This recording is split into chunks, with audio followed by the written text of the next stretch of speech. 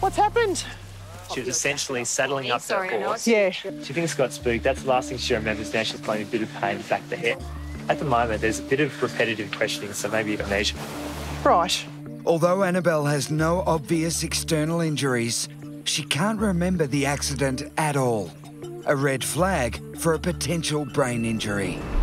And how did someone find you? Good question. Um, her dog came over to the stables over there and got me. so you're the neighbour? Yeah.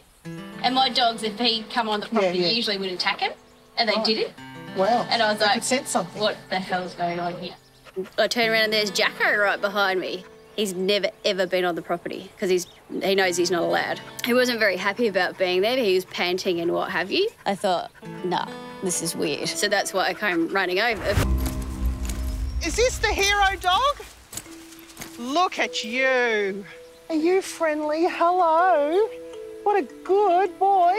It was only thanks to the bravery of Border Collie Jack that Annabelle was found concussed on the ground. Despite being sworn enemies with the neighbours' dogs, he crossed onto their property and raised the alarm. Now that dog has stood at this fence line and barked and let that neighbour way over there know something's wrong. That's awesome. It's like Lassie. Amazingly, the neighbours' dogs let Jack through for the first time ever without a fight.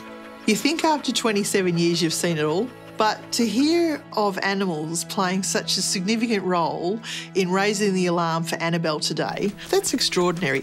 What a good boy. But we don't know how long she laid there before Jax found her. So she's by no means out of the woods at this stage. Hopefully, Jack's heroic efforts have prevented any long term injuries. It was your fault. Although Annabelle is back on the horse, there's no doubt who her best friend is. Jack went next door to my neighbour Sarah. Her dogs, who would normally be really aggressive if he went over there, just backed off. That brought Sarah back over here to see what was wrong. Meanwhile, the temporary truce between Jack and his neighbour's dogs is well and truly over.